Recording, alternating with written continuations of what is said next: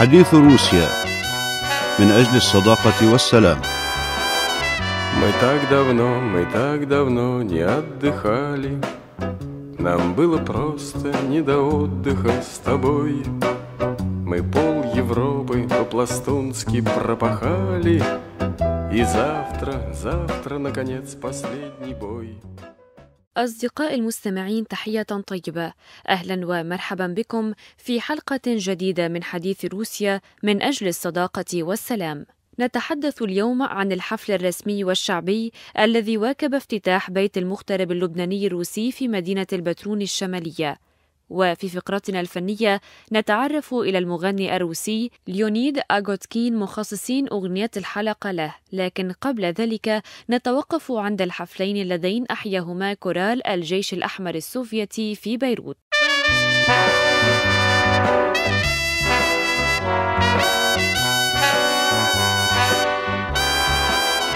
Мы так давно, мы так давно не отдыхали Нам было просто не до отдыха с тобой أطل كورال الجيش الأحمر السوفيتي عبر حفلين ضخمين في بيروت أدى فيهما أشهر الأغنيات التي ترافقت مع مسيرته الطويلة وقد تميز الحفلان بتفاعل كبير مع الجمهور اللبناني المتذوق للغناء السوفيتي وقد نظم الحفلان بالتعاون مع سفارة روسيا الاتحادية وسوليدار حيث حل اللواء فيكتور ياليسييف على رأس أكثر من 120 منشدا وراقصا وموسيقيا لتقديم أمسيتين عند واجهة بيروت البحرية. وقد رأى الناقد الموسيقي الزميل بشير صفير في مقالة نشرتها صحيفة الأخبار أن تنظيم حفلتين لجوقة الجيش الأحمر في بيروت ليس خبرا مفصولا تماما عن السياسة الدولية. واعتبر صفير أننا في زمن استرجاع كرامة روسيا التي ضاعت بعد انهيار الاتحاد السوفيتي. جوقة الجيش الأحمر لم تتوقف عن العمل لكنها اليوم تطل على الجمهور في العالم بفخر. هي صورة مصغرة عن روسيا بوتين. روسيا القوية بانفتاحها الاستراتيجي من جهة وباعتزازها بهويتها وتاريخها قبل الاتحاد السوفيتي وخلاله أيضا من جهة ثانية. لكن للموسيقى أيضا قوة مستقلة عن التغيرات السياسية. الاتحاد السوفيتي انهار والجيش الأحمر تغير اسمه قبل الانهيار ثم تخلى عن عقيدته بعد الانهيار. أما جوقته العظيمة فلم تهتز لا شكلا ولا مضمونا. ويجب توضيح أمر مهم فجوقة الجيش الأحمر هو اسم لفرقتين تأسست الأولى في العام 1928 والثانية التي زارتنا في العام 1939 وهما الوحيدتان المخولتان رسميا حمل هذا الاسم.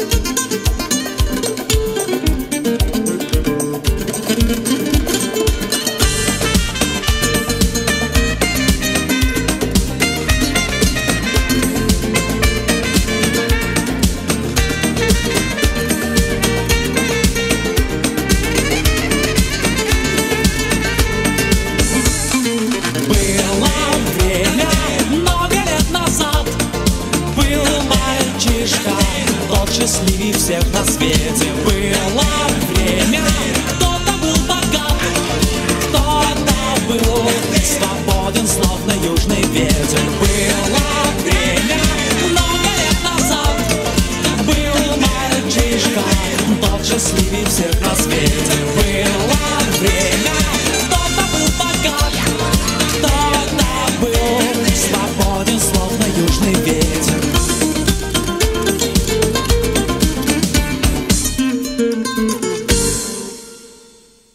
أصدقائي في حفل رسمي وشعبي وبمشاركة حشد من متخرجي جامعات ومعاهد الاتحاد السوفيتي في لبنان تم افتتاح بيت المغترب اللبناني الروسي في مدينة البترون الشمالية. عن الحفل تحدثنا في التقرير التالي الزميلة كارولين بسي لمناسبة مرور سبعين عاما على العلاقات اللبنانية الروسية تم إطلاق مشروع البيت اللبناني الروسي في مدينة البترون خلال حفل أقيم في حرم الميناء في حضور السفير الروسي في لبنان ألكسندر زاسيبكن ووزير الخارجية والمغتربين جبران باسيل وراعي أبرشية البترون المارونية المطران منير خير الله والمطران يوسف درغام ورئيس جمعية متخرجي جامعات ومعاهد الاتحاد السوفيتي في لبنان الدكتور علي قبيسي على رأس وفد من الجمعية ورئيس جمعية الصداقة اللبنانية الروسية جاك صراف محافظ الشمال القاضي رمزي نهرة مدير عام النفط أورور الفغالي رئيس اتحاد بلديات منطقة البترون طنوس الفغالي الأرشمنديت جورج أصافيتي ممثلا راعي أبرشية جبيل والبترون للروم الأرثوذكس المطران جورج خضر الشيخ رضا أحمد قائم مقام البترون روجيه طوبية رئيس بلدية البترون مارسيلينيو الحرك رئيس رابطة مخاتير منطقة البترون حنا بركات نائب أمين عام اللقاء الأرثوذكسي حبيب فرح رؤساء بلديات ومخاتير ممثلي أحزاب وتيارات سياسية رؤساء جمعيات وأندية وروابط وعدد من خريجي معاهد وجامعات روسيا وحشد من أبناء منطقة البترون ومدعوين. بداية كانت محطة أمام البيت اللبناني الروسي حيث رفع العلمان اللبناني والروسي. ثم كانت جولة داخل البيت فزيارة لكنيسة مارجورجس. ثم بدأ الاحتفال بالنشيدين اللبناني والروسي. قدم للحفل المحامي سيد فياض فلوحة رقص روسية ألقى بعدها الوزير باسيل كلمة قال فيها فإن شراكات عديدة تجمع بين بلدينا فأهل روسيا لا يزالوا شرقيين لم تجف عندهم العاطفة ولا انتفت عندهم المبادئ ولا اقتادوا بالمصالح فقط دون أي تأثر بالعلاقات البشرية. وصديقهم صديق وكلمتهم كلمة لا يتخلون لا عنه ولا عنها. والتحديات المشتركة بين لبنان وروسيا في المستقبل هي عديدة من السياسي الدبلوماسي إلى الاقتصادي المالي حيث بلغ حجم التبادل 901 مليار دولار مليون دولار في السنة الماضية. إلى الاجتماعي المجتمعي بمعناه طبيعة المجتمع وأسسه وتكوينه وهو مجتمع فيه التنوع بالدين والانتماء والكيانية والعرقية والريف والفقر وغيره. وعلى رأس هذه التحديات يأتي البعد الإنساني أي الإنسان بحد ذاته ومعيشته وحقوقه وحياته ووجوده. وهذا ما أتى بنا إلى توقيت اليوم. وهنا نأتي إلى التوقيت وهو الأهم توقيت طرح موضوع الإنسان الموجود في الشرق والغرب في المسيحية والإسلام واليهودية والبوذية والإلحاد حتى في مواجهة اللا إنسان الذي هو داعش. المعركة اليوم هي بين الإنسانية والبربرية بين الحدود في المنطق والجغرافيا واللا حدود في الجنون والأوطان بين القيم الأخلاقية والإيمانية والإنسانية واللا قيم واللا أخلاق واللا إيمان. لا إيمان بالله ولا إيمان بخلقه. المعركة لم تعد على حرية المعتقد وعلى حرية التفكير والتعبير ولا, ولا على حقوق الإنسان والحق بالمعرفة والحق بالوجود والحق بالحياة الكريمة وما شاكل. المعركة أصبحت على الحق بالحياة مجرد الحياة. وروسيا هي نصيرتنا بهذه المعركة. وقد قلنا أن الحرب على داعش يجب أن تنطلق من الأمم المتحدة كما تماما كما حصل بالقرار الأخير 2170 وقلنا البارحة أنه لا يجوز إبعاد أي دولة راغبة بمحاربة داعش لأن الأمر يترك لداعش مجالا ومكانا للبقاء والتغلغل والتمدد لاحقا. واليوم نقول أنه لا يجوز عدم تخطي أي خلاف سياسي محلي إقليمي أو دولي من أجل إزالة داعش. روسيا هي نصيرة الأقليات في المنطقة.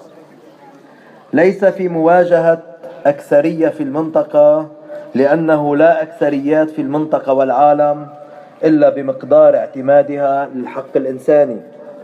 وقد قلنا البارحة أن تصدير الأقليات إلى الغرب هو مؤذن تماما كما استيراد المقاتلين الأجانب إلى الشرق. ونقول اليوم أننا نحن الأقليات نحن الأكثرية في الشرق والغرب ونحن كنز كنز هذا الشرق بتنوعه وأن الغرب لن يحل مشكلة تناقصه. باستيراد أعدادنا واستيلادها وأن الغرب سيكون جاف قاحل بفكره وقلبه إذا ما ترك لداعش ما تركه للقاعدة من قبلها من فسحة هواء بدل خنقها وأن كرة تدحرج التقسيم ستصل إليه في بريطانيا واسكتلندا في إسبانيا وكتالونيا في فرنسا وكورسيكا وعد إلى ما لا نهاية. روسيا هي نصيرة المقاومين في العالم. ونحن المقاومة في هذا الشرق. نحن قاومنا الاحتلال من أي جهة أتى. ونحن قاومنا الإبعاد والنفي والسجن. ونحن قاومنا الأحباط والإقصاء واللامناصفة. ونحن قاومنا الفساد والإقطاع والميليشيات في الحرب وفي السلم في الشارع وفي الدولة في السلوك وفي الذهنية. نحن قاومنا وسنقاوم داعش وأخواتها في الميدان وفي السياسة. نحن قاومنا وسنقاوم داعش وأخواتها في الميدان وفي السياسة مع الجيش ومن ضمن الدولة. إن من سهل بالنار للمحتل الدخول طورا ومن صلى له للدخول طورا ومن قبل باتفاق الإذعان ومن أسقط القانون الأرثوذكسي ومن يقبل بأي رئيس للجمهورية ومن اعتبر أن داعش هو غير موجود وأن معلولة لم تحدث وأن الموصل لم تهجر هو تهرب من مسؤولياته في المقاومة طويلا. أما الآن فإنه آن الأوان وباعترافه واعتراف الجميع بوجود السرطان بأن يعود إلى المقاومة في كل معانيها وأن يتخلى عن سياسة المناكدة. فلنضع سياساتنا الخلاف خلافاتنا السياسية جانبا ونقاوم معا وجميعا. هذا الخطر التكفيري الداعشي الوجودي. فنستحق أن نكون أبناء المقاومة ونستحق أن نكون أوفياء لشهدائها. ولا نستحي من أنفسنا إذا سألونا ماذا أنتم فاعلون بتضحياتنا ودمائنا وتراثنا وتاريخنا. تعالوا جميعا. لنقف أشداء أقوياء معاندين مؤمنين كمن سبقنا وترك لنا هذا التراث. تعالوا وفي مداعش تهدم الكنائس وتكسر الصلبان وتحطم الأيقونات. تعالوا وانضموا في بناء كنائسنا وإعادة ترميمها وترميم ذاكرتنا من النسيان وترميم وترميم إيماننا من الشك والخوف. ثم ألقى السفير الروسي كلمة أكد فيها مشاركته آراء باسيل حول طبيعة المحلة الحالية على الصعيدين العالمي والإقليمي وقال عندما أصبحت كرامة الشعب مهددة فنحن وقفنا بحزم ضد هذا هذا الهجوم الشرس علينا ضد التزوير للنهج السياسي الروسي. وهذا النهج هو معروف خلال عشرات السنين. ونحن كنا ولا نزال نعتبر أنفسنا في صفوف الأولى للدول تحارب الإرهاب. وهنا في منطقة الشرق الأوسط نحن كنا من أوائل الذين شعروا إلى خطر لهذه الظاهرة في الوقت عندما أطراف بعض الأطراف الأخرى كانت تمول وتشجع الإرهاب في هذه المنطقة. واليوم نحن ندعو إلى التلاحم وتوحيد الصفوف للمجتمع الدولي لمكافحة الإرهاب بجهود مشتركة وليس بتكتلات وبالتعاون بدرجة الأولى بين الأنظمة ونحن نقدر عاليا جدا المواقف المبدئية للسياسة الخارجية الدبلوماسية اللبنانية فيما يخص بضرورة الاعتماد على الأمم المتحدة على قرارات مجلس الأمن في هذا المجال ولا يكون هناك عزل لأي دولة التي تقاوم وتبذل الجهود الفعالة في مجال مكافحة الإرهاب. إعادة إلى ال ال إلى الموضوع اللي نحن نتحدث عنه اليوم وهو التعاون الروسي اللبناني في مدينة البطرون. فبعد ما شاهدنا المشروع و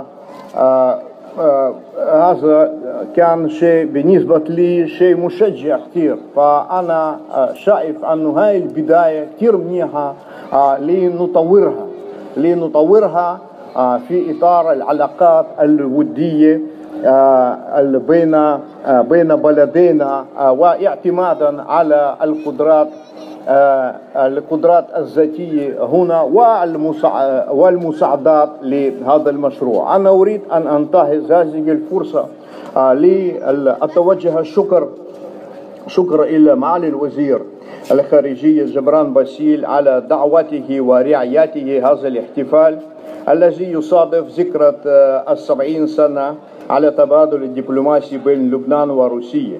والذي يؤكد عمق الصداقة المتينة التي تربط البلدين والشعبين. كما أتوجه بالشكر إلى رئيس بلدية البطرون السيد مارشيلينو على استضافته لنا في مدينة البطرون والمساعدة اللوجستية التي قدمها البلدية لإنجاح الفكرة. آه وأود أن أشكر الصديق أمل أبو زيد الذي قام هو وشركائه الروس بتأمين المبلغ المالي اللازم المطلوب لتأهيل وتجهيز البيت الثقافي اللبناني الروسي في البطرون ليكون مركز لقاء والتواصل بين اللبنانيين والروس المتواجدين في هذه المنطقة والجوار. بالإضافة مركز حوار وتعارف على حضارة روسية وتعلم اللغة الروسية وغيرها من النشاطات التي تعمق العلاقة والمعرفة بين الشعبين. أما رئيس بلدية البترون مارسيلينيو الحرك فأكد على أهمية العلاقات اللبنانية الروسية التاريخية العميقة والسياسية والاقتصادية والدينية وقال نحن لا ننسى وقوف الروس إلى جانبنا أيام اضطهاد المسيحي وعند كل محنة. وتمنى أن يحمل البيت اللبناني الروسي أهدافا اجتماعية ويكون محطة لحركة اقتصادية بين لبنان وروسيا فنعزز صعود شعبنا في أرضه وهذا هو هدفنا وهدفكم. كما شدد على الإرادة الصلبة ببناء البيوت مهما اهتزت الدنيا من حولنا فنعيد المغترب إلى بلده. ونفتح قلوبنا ونقول للعالم أن هناك شعوبا ترفع سيف الظلم والإرهاب ونحن نرفع سيف المحبة والحضارة والعلم والثقافة التي تقتل الظلم والإرهاب. وألقى الدكتور أديب موسى كلمة الخريجين فشكر باسم الشباب اللبناني ما قدمته روسيا لنا ولما لها من فضل علينا في تلقين المعرفة العلمية وتأمين الاختصاصات على اختلافها مما أتاح لنا فرص العمل والإبداع وخدمة الوطن والإنسان فيه. وثمن رسالة روسيا في خدمة الشعوب والعمل على تطورها ورقيها وخدمة العدل والحقيقة في العالم أجمع. ولقد أثبتت الأحداث العالمية وخاصة عندنا في الشرق الأوسط صوابية وصلابة موقفها. وشكر للوزير باسيل سعيه لتوطيد العلاقات اللبنانية الروسية. كما شكر لبلدية البترون احتضانها للبيت اللبناني الروسي. وفي الختام جرى تقديم دروع تذكارية. كما كان تعرض مصور عن معالم المنطقة القديمة في مدينة البترون. وتخلل الاحتفال معرض فني روسي.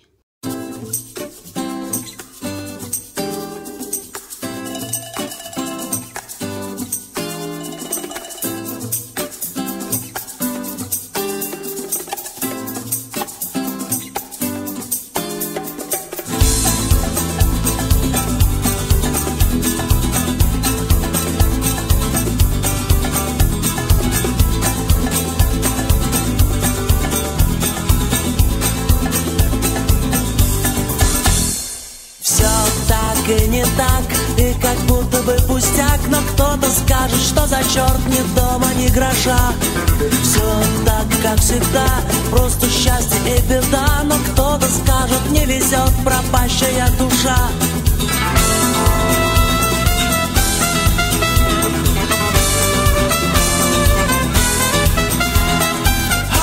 Эй, ла-ла-лей, где вопросы, где ответ? Хоп, эй, ла-ла-лей, что не говори. Хоп, эй, ла-ла-лей, то ли верить, то ли нет. Хоп, эй, ла-ла-лей, но Бог тебя хранит. Весь мир за окном, чужая жизнь тебе не дом И твой сапог были дорожный, утонул опять. Сны так далеко, и ты расстанешься легко Но кто-то скажет, сколько можно ничего не ждать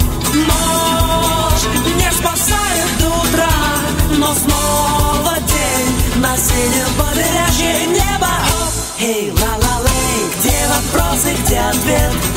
Эй, ла-ла-лей, что не говори Эй, ла-ла-лей, то ли верить, то ли нет Эй, ла-ла-лей, но Бог тебя хранит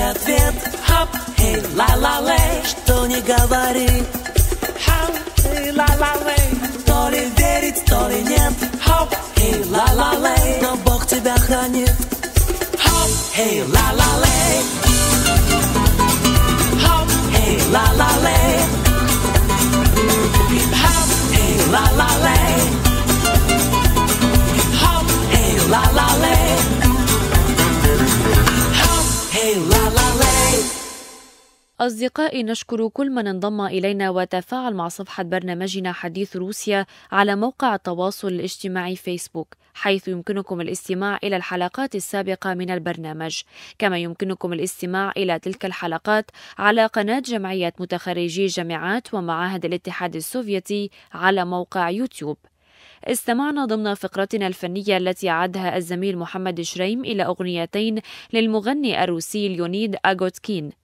ولد أغوتكين في العام 1968 في مدينة موسكو. كان والده موسيقيا مشهورا على صعيد الاتحاد السوفيتي. عندما كان في السادسة من عمره التحق بمدرسة الموسيقى بالتوازي مع دراسته في المدرسة. وقد تخرج من مدرسة موسكو لموسيقى الجاز اختصاص البيانو. بين العامين 1986 و 88 خدم في قوات حرس الحدود السوفيتية على الحدود مع فنلندا. في العام 1992 تخرج من معهد موسكو الحكومي للثقافة اختصاص الإخراج المسرحي والتمثيل. وفاز في العام نفسه في المنافسة الدولية للفنانين الشباب يالطا 92 بعد أدائه أغنية الصبيحة في القدمين. ثم فاز في العام التالي في المسابقة الدولية لأغنية البوب للشباب جرمالة 93 وأطلق في العام 1994 ألبومه الأول الذي حمل عنوان أغنيته الأشهر الصبيحة في القدمين فكان نقلة نوعية وحاز على أعلى المراتب وساهم بوضعه في قمة عالم الموسيقى الروسية. وخوله الألبوم أن يفوز في ثلاث فئات مغني العام وأغنية العام وألبوم السنة. وأصدر في العام التالي ألبومه بعنوان ديكاميرون جنبا إلى جنب مع فنانين مثل فيليب كيركوروف، فاليري ميلادزي وغيرهم. في العام 2005 سجل ليونيد والأسطورة عازف الجاز الأمريكي آل دي ميولا ألبوما مشتركا بعنوان عالم الحياة وقد بيع منه نحو 900 ألف نسخة خلال ستة أشهر وقد حافظ الألبوم ولأشهر عدة على مرتبة في العشر الأوائل في أوروبا وأمريكا. وقد أطلق عليه اسم جسر موسيقي بين الثقافات.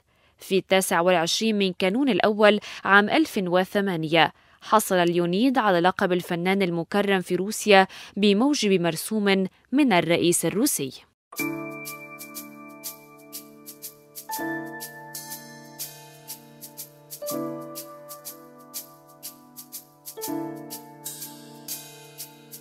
Что есть любовь?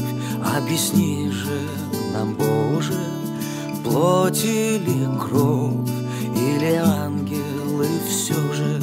All you need is love в голубых небесах, на что вечность обняв, то замрет, то проснется в твоих руках.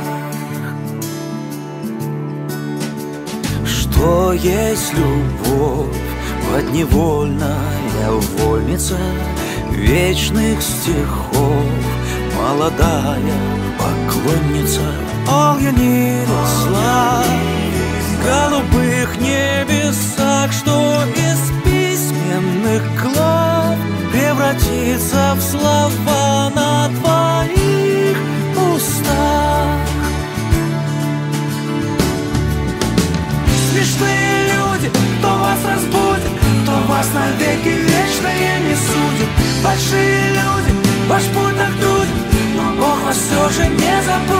Tode starb.